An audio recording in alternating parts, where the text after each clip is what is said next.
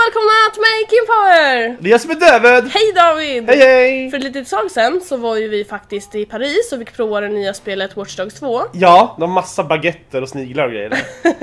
Vi fick ju sitta med det spelet några timmar och spela in lite. Mm, det var coolt. Vad tyckte du om spelet?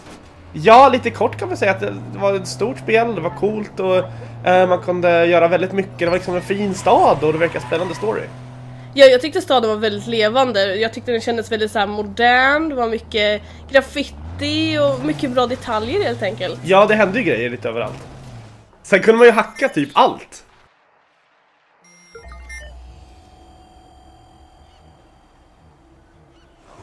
Ja, man kunde ju typ hacka allt.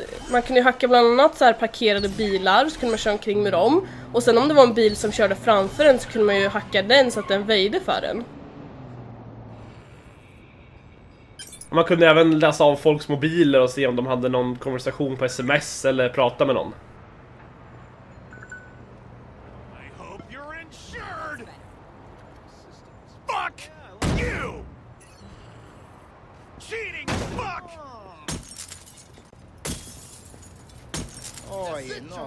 Have I hurt you yet? Andra saker man kunde göra var ju att man kunde skicka polisen på andra människor och man kunde skicka maffian också. Det var väl lite som en avledande manöver. Man kunde ju interagera med människor på ett speciellt sätt också. Till exempel så kunde man ju flörta med dem och sen så kunde man ju då självklart retas med dem. Ja.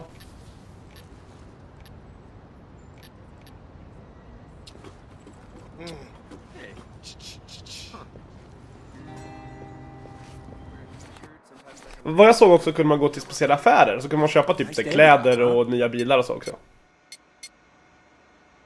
Och en av de bästa sakerna med spelet det var att man kunde klappa massa hundar. Ja, de var så mjuka.